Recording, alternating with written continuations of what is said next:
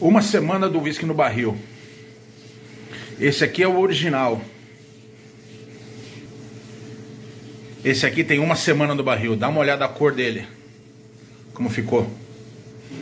Vamos ver o gosto. O original não espero muita coisa porque o original tem só dois anos de maturação. Né? A legislação brasileira exige que você espere dois anos maturando para vender como uísque. Mas é um cheiro agradável, né? O whisky da Lamas é muito bom. Corzinha natural, não tem corante, então maturação bem feita.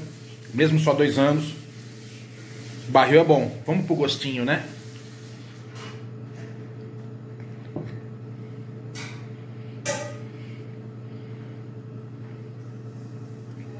Conforme esperado, super picante. Né? Ó. Super picante, claro. Precisa de mais maturação. Vamos ver o outro que tá uma semana no barril.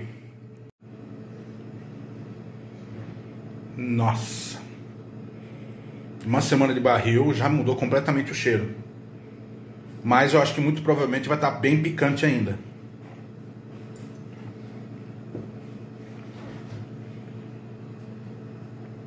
Já mudou o gosto. Não muita coisa, claro, uma semana para o uísque não muda muita coisa.